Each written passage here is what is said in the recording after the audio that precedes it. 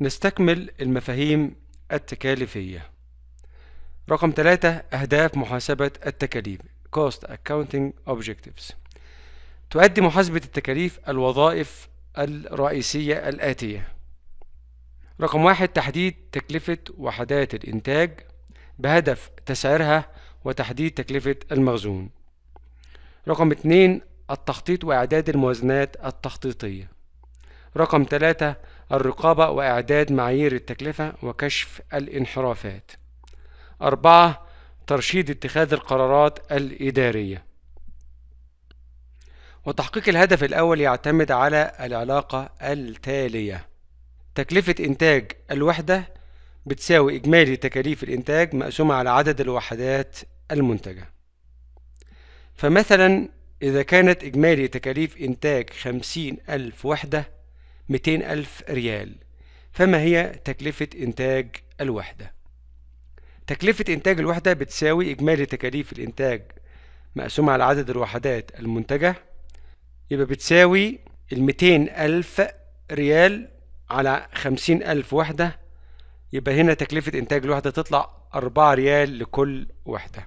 بنضيف عليها هامش ربح لتحديد سعر الوحدة.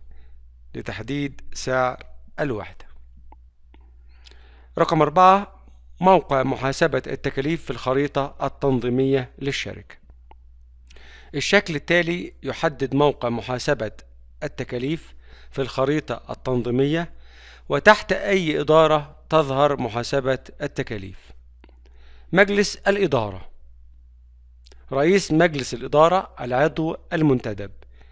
يندرج تحت منه نائب رئيس مجلس الإدارة للشؤون الإنتاجية نائب رئيس مجلس الإدارة لشؤون التسويق والمبيعات نائب رئيس مجلس الإدارة للشؤون المالية. نائب رئيس مجلس إدارة للشؤون المالية يندرج تحت منه مدير التمويل treasurer مدير الحسابات المراقب المالي controller مدير المراجعة الداخلية internal audit. من مدير الحسابات اللي هو المراقب المالي يندرج تحت منه محاسبة التكاليف والحسابات المالية والتخطيط والموازنات ونظم المعلومات. الحسابات المالية يندرج تحت منها حسابات المدينين حسابات الدائنين الأجور وهكذا. رقم خمسة محاسبة التكاليف والشهادات المهنية. ال cost accounting and professional certificates.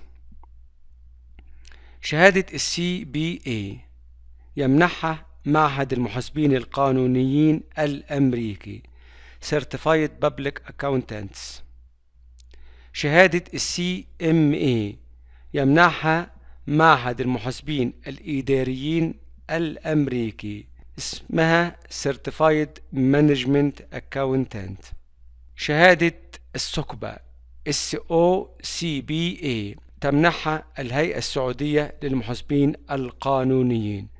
سعودية Organization for Certified Public Accountants. كل هذه الشهادات تتطلب في المتقدم معرفة جيدة بأساليب محاسبة التكاليف والمحاسبة الإدارية.